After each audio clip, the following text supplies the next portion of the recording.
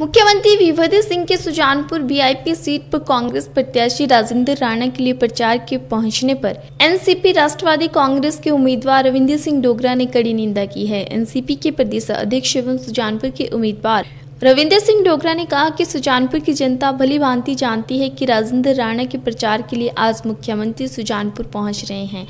उसी के लिए मुख्यमंत्री वीरभद्र सिंह ने स्कैंडल के लिए भी सीबीआई जाँच की मांग की थी और मुख्यमंत्री यह भी बताएँ कि मुख्यमंत्री खुद बीजेपी के लिए काम कर रहे हैं क्योंकि कांग्रेस चाहती नहीं है कि तीसरा विकल्प प्रदेश के अंदर तैयार हो सके।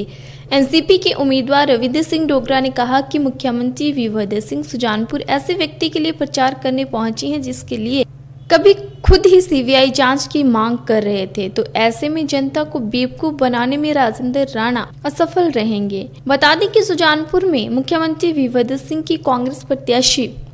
राजेंद्र राणा के लिए चुनावी रैलियाँ रखी गई हैं और राजेंद्र राणा के सामने पूर्व सीएम धूमल के खड़े होने से अब कांग्रेस भी सीट पर कब्जा करने के लिए कोई कसर नहीं छोड़ना चाहती है। वहीं ऐसे में एनसीपी के द्वारा भी तीखा हमला बोले जाने पर राजनीति गर्मा गई है। देखिए, सुजानपुर की जनता बहुत समझदार है।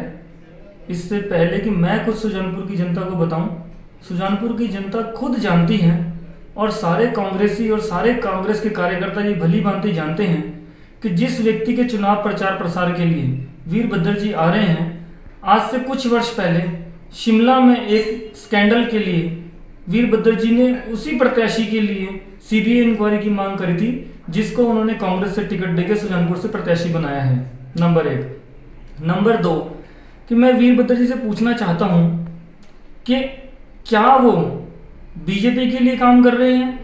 क्योंकि हिमाचल प्रदेश में हमेशा ये होता आया है कि चाहे वो बीजेपी हो या कांग्रेस हो, वो कभी ये चाहते ही नहीं कि तीसरा विकल्प जनता के सामने आए ताकि भाजपा और कांग्रेस को कड़ा संघर्ष करना पड़े।